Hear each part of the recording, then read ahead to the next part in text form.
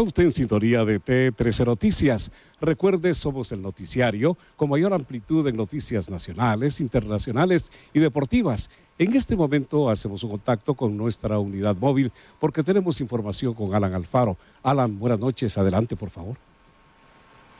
Buenas noches, don Carlos. Hemos llegado hasta la cuarta avenida y sexta calle de la zona 4 capitalina, para ser exactos, a inmediaciones del conocido mercado de la terminal. Aquí esta noche ha ocurrido un incendio en un lugar conocido como Palomar. Al menos cuatro o cinco viviendas han prendido en llamas por causas que aún se investigan y esto ha provocado, por supuesto, pánico y pavor en los habitantes de este Palomar y, por supuesto, también en los vecinos de los alrededores. De inmediato se ha dado aviso a bomberos voluntarios, los socorristas del casco negro. Estos han destacado dos unidades contra incendios hasta este lugar, al menos 30 elementos y dos abastecimientos de agua han sido necesarios para combatir las llamas en este sitio. En un principio, don Carlos, quiero comentarle, se hablaba de que una mujer de aproximadamente 40 años de edad había quedado en medio del humo y de las llamas y estaba desaparecida. Sin embargo, a esta hora de la noche, los socorristas del casco negro han finalizado ya su labor, se ha ventilado el lugar y afortunadamente se ha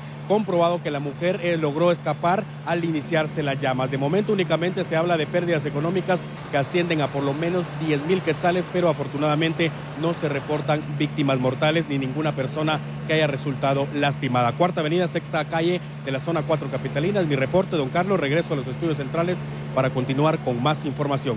Muy buenas noches. Muchísimas gracias a Alan Alfaro por esta importante información. Por supuesto, en T13 Noticias tenemos eso, más noticias.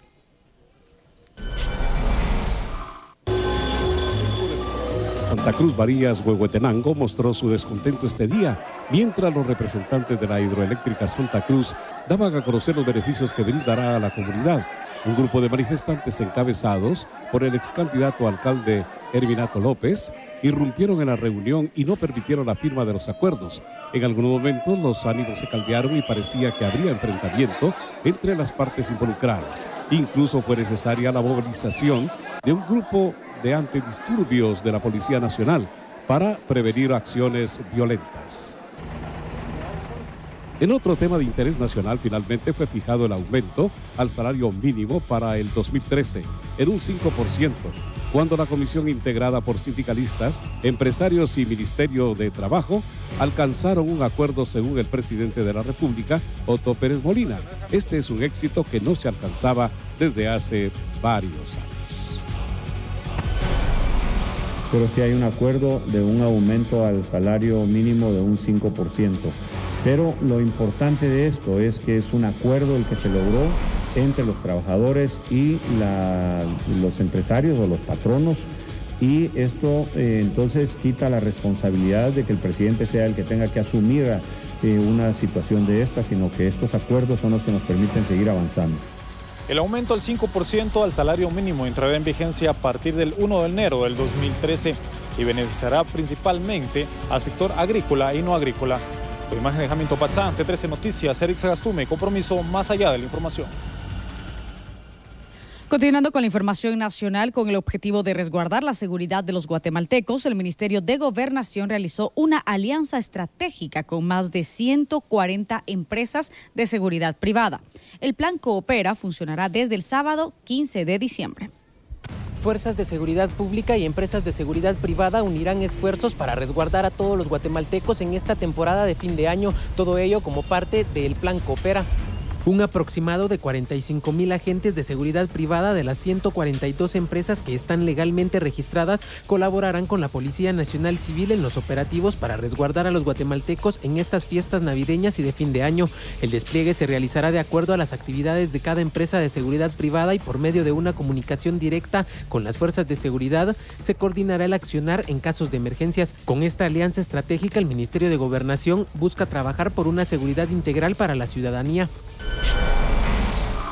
A grosso modo les puedo decir que van a haber efectos preventivos, efectos disuasivos, en los cuales en un momento determinado van a ser trasladados como un medio de cooperación y de coordinación.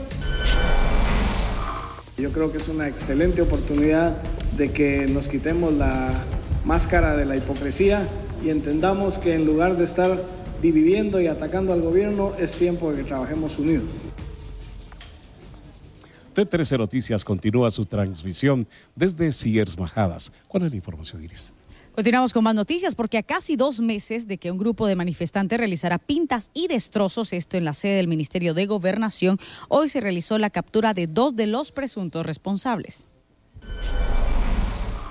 La, Cámara del Ministerio de Gobernación captó el momento en que ellos vinieron con todos los materiales, venían con los rostros descubiertos, se pusieron las capuchas, actuaron en ese momento, luego se fueron y más adelante dijeron aquí ya no hay nada, ¿verdad? Y se quitaron las... Y esa fue la razón por la cual se pudo obtener de otras cámaras, las mismas personas, con la misma vestimenta, con los mismos rasgos, fotografías que tomó todo el mundo,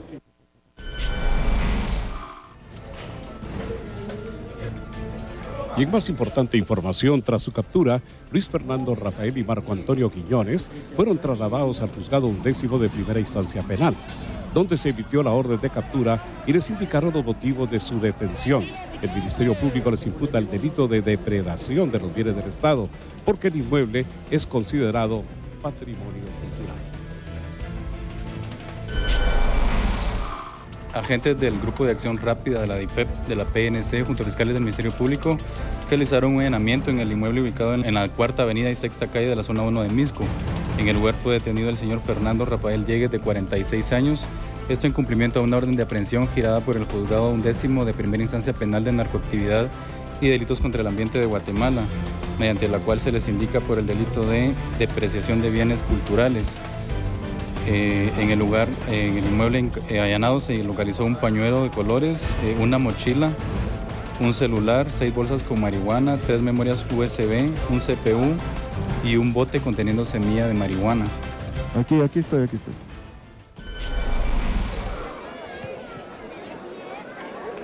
El ejército de Guatemala tendrá más elementos en sus filas. En la Escuela Politécnica de San Juan Zacatepeques fueron graduados 100 cadetes de la promoción 148 de las Fuerzas de Aire, Mar y Tierra. Todos obtuvieron el grado de oficiales del ejército con especialidad universitaria y licenciatura en tecnología y administración de recursos. Autoridades del alma mater militar informaron que en un futuro los estudiantes también tendrán la oportunidad de especializarse en licenciaturas militares.